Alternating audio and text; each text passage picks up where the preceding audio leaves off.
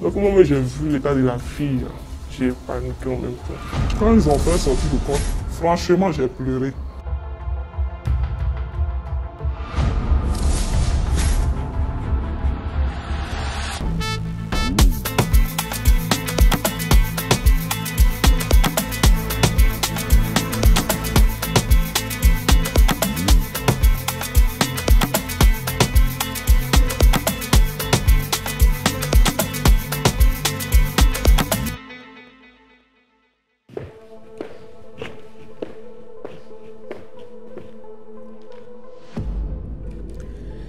L'histoire que je vous propose ce soir aurait pu être intitulée Le tragique destin de Fapana, la fille de ménage. Âgée de 16 ans, cette jeune fille courageuse a été retrouvée morte au domicile de sa patronne dans des circonstances étranges. La veille, une affaire de vol a perturbé la quiétude du voisinage. Que s'est-il passé dans cette maison? Qu'est-ce qui a tué Fapana ou qui l'a tué? L'enquête regorge de nombreuses zones d'ombre. Focus fait divers revient sur cette situation tragique qui a cristallisé les énergies à Abidjan pendant un bon moment.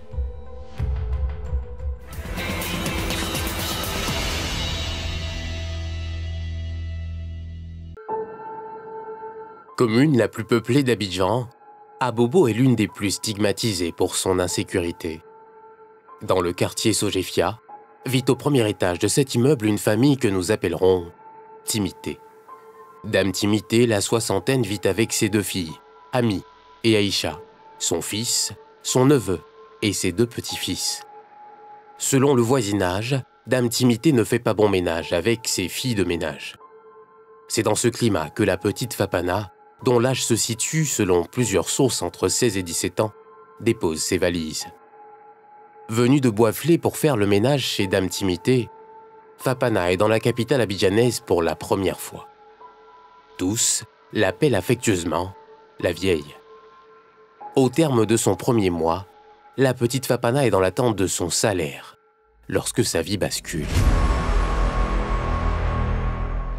Tout commence le samedi 2 juillet 2022. Une affaire de vol va bouleverser à tout jamais l'existence de la jeune fille de ménage. La veille du drame, une habitante de l'immeuble de Dame Timité que nous appellerons Adja est assise sur la table de commerce de Dame Timité devant l'immeuble principal.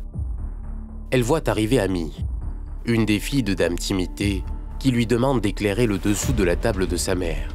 Elle chercherait la somme de 85 000 francs CFA que lui aurait volé la fille de ménage, Fapana. Adja lui suggère de faire venir la fille afin qu'elle lui dise où elle a caché l'argent. Mais lorsque Ami fait venir la fille de ménage, grand est l'étonnement de Hadja. Donc au moment où j'ai vu l'état de la fille, j'ai paniqué en même temps. Parce que tout son cou était blessé. Avec son cou, tout de la frappé, malgré qu'elle était dehors, ils l'ont attaché avec quelque chose et voilà que voilà c'est comme ça on, on traite les, les rouleurs. Donc moi j'ai dit ah laissez la fille parce que de toute façon moi je la vois là. Si vous la laissez pas, vous, allez vous créer des problèmes. Après sa mise en garde, Adja, qui célèbre son anniversaire ce soir-là, sort avec ses amis. Elle ne le sait pas encore, mais le cauchemar de la petite Fapana ne fait que commencer. Dimanche 3 juillet 2022, 2 heures du matin. Les habitants de l'immeuble de Dame Timité sont réveillés par les cris de la petite Fapana. Une résidente de l'immeuble de Dame Timité raconte les faits sous le couvert de l'anonymat. Euh, C'était environ 2 heures du matin où nous on rentrait. C'est là on a vu la petite là était dans la main de la vieille, sa fille, et puis un de son, son neveu. Donc on s'est approché d'elle et puis on lui a posé des questions. On dit la vieille qu'est-ce qui se passe? Elle dit et que la fille là l'a volé. Qu'elle dit elle a caché l'argent en bas. Donc nous on s'est approché de la petite. On lui a demandé tu as volé vraiment Elle dit oui. J'ai dit, tu as mis l'argent là où? Elle dit, j'ai mis dans la caisse. J'ai dit, donc si on ouvre, tu vas nous montrer où ils ont mis l'argent. Elle dit oui. J'ai dit, d'accord. Donc son neveu l'a ouvert le euh, la caisse. Quand le cousin l'a ouvert la caisse, elle dit non, ce n'est pas là-bas. Quand il lui a dit, il faut te lever, tu vas aller montrer. Elle dit non, ce n'est pas là-bas. Il faut dire à la vieille que demain, C'est ça, elle dit, mais ce n'est pas là-bas, ça est où? Elle dit, non, ça est au carrefour, qu'il y a une femme qui vend au que c'est là-bas, elle a enterré l'argent. Je dis, ah, la vieille, il fait tard. Il y avait une dame même qui était arrêtée là, elle dit, ah, il fait tard. On, a, on a 2 heures du matin. Allez-y vous coucher. Demain matin, vous allez partir, elle va vous monter tranquillement, vous allez prendre. La vieille dit que ça fait 6 personnes qu'elle cite. Elle dit qu'il y a une dame derrière ici, ils sont partis, la dame dit que c'est pas elle. Elle dit qu'elle a fait transfert à un jeune, ils, sont, ils ont appelé le jeune, le jeune dit, elle a donné plusieurs numéros, ils ont essayé, elle dit ce n'est pas là-bas. Tantôt elle dit ici, tantôt elle dit ici. Elle dit, ah, si c'est comme ça, c'est que c'est pas elle qui a pris. Le fait que vous l'avez frappée, peut-être qu'elle est traumatisée. Donc allez-y vous coucher. Demain matin, quand son esprit sera posé, elle va vous dire où elle a mis l'argent. Elle dit non, comme elle a montré au carrefour, ils vont aller vérifier. Aussitôt, la fille de Dame Timité et ses frères se précipitent dehors avec la petite Fapana. Quelques minutes plus tard, ils reviennent bredouille dans la cour.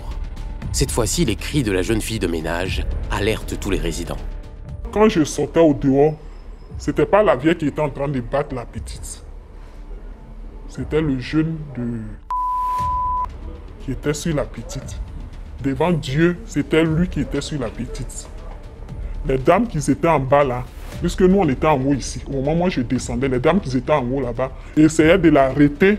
Mais comme il était un homme, il les projetait, il les projetait, il les projetait. Donc les femmes là criaient, nous tous on criait, c'est quoi tu es, tu veux nous créer problème? Il avait un tuyau en main. La dame qui est en bas là, ces filles là, comme ils sont nombreux, ils ont arraché le tuyau dans sa main. Et puis ils l'ont fait, ils l'ont poussé, poussé, ils l'ont fait sortir.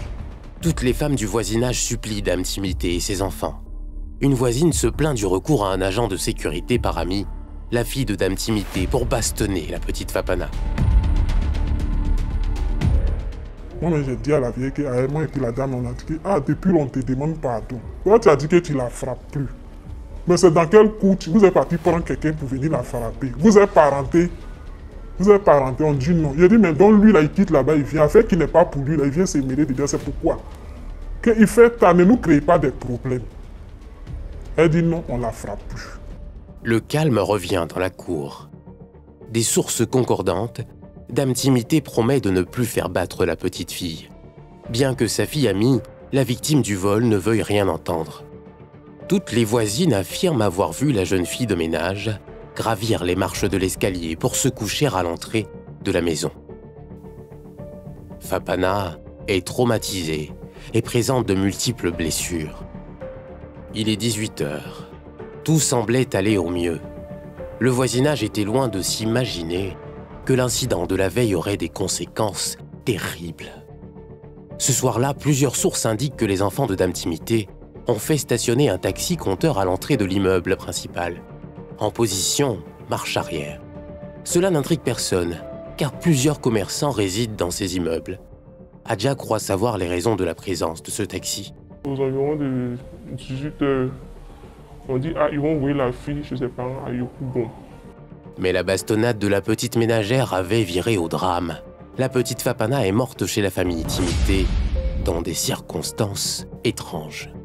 Comment informer le voisinage qui a été témoin oculaire de la correction musclée de la petite ménagère? La famille Timité voulait-elle déguiser le décès de Fapana, survenu dans leur maison? Cela expliquait-il la présence du taxi-compteur Difficile à vérifier, mais une chose est certaine. Quelqu'un avait eu vent de la disparition tragique de la jeune ménagère et a alerté police. Toujours est-il que Dame Timité et ses enfants ne laissaient rien transparaître. La police judiciaire arrive sur les lieux contre toute attente. Les interrogations fusent d'une part et d'autre. En quelques minutes, un cargo de la police débarque sur les lieux. Le taxi-compteur stationné à l'entrée de l'immeuble démarre en trombe. Les habitants ne sont pas au bout de leur surprise. Un véhicule des pompes funèbres se positionne à l'entrée de l'immeuble. Enfin, les policiers annoncent la triste nouvelle aux riverains. La petite Fapana est décédée. Moi-même, à pleurer, mais trembler sur moi ce jour. Ça m'a fait bizarre. Donc, ils étaient arrêtés là, là même ce jour, et puis ils ont fait sortir le corps Quand ils ont fait sortir le corps, franchement, j'ai pleuré. J'ai pleuré parce que c'est un enfant, c'est un cher. Frapper quelqu'un jusqu'à enlever sa vie. Vraiment. Moi, je n'ai jamais vu tuer l'homme comme ça devant moi. Donc, franchement, j'ai pleuré. Je pensais que pas que la fille a pu partir comme ça. En tout cas, elle avait blessure même si elle, elle était fatiguée, même faible même. Elle était fatiguée, en tout cas. Mais je ne sais même pas que la fille a pu mourir. Je, je n'aime pas penser à ça, mais dit, ça m'a fait mal. Quand je veux parler, j'ai l'âme aux yeux. Sur le champ, Dame Timité, son fils et un autre membre de la famille sont interpellés par les éléments du commissariat du 13e arrondissement. Ami, la victime du vol et l'agent de sécurité seraient en fuite. Jointe au téléphone depuis une ville de l'intérieur du pays, une cousine de Dame Timité dénonce une extrapolation des faits par le voisinage. Sa cousine n'est pas une mauvaise personne, dit-elle, comme semblent le croire les témoins. Elle les accuse de ne pas avoir porté assistance à la jeune fille de ménage. Nos efforts pour avoir le témoignage des autres membres de la famille, ainsi que celui de l'avocat de Dame Timité, sont restés vains. Selon plusieurs sources, les parents de la petite Fapana, que nous n'avons pas pu joindre non plus, n'auraient pas porté plainte en raison des alliances ethniques qui les lient à la famille Timité. Contactée, la police a refusé de divulguer des informations concernant cette affaire. Difficile de savoir à ce jour si une plainte existe dans les registres de la police concernant la mort de la petite Fapana, qui a ainsi quitté le monde des vivants dans la fleur de l'âge.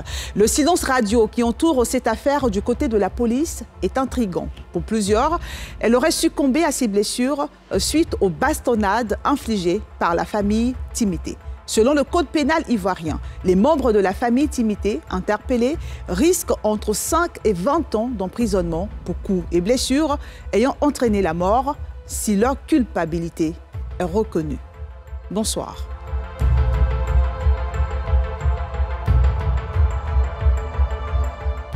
Alerte Focus. Une personne est portée disparue. Si et seulement si vous disposez d'informations permettant de la retrouver, veuillez contacter les numéros de téléphone qui s'affichent sur votre écran. Votre mobilisation est essentielle. La survie d'une personne en dépend.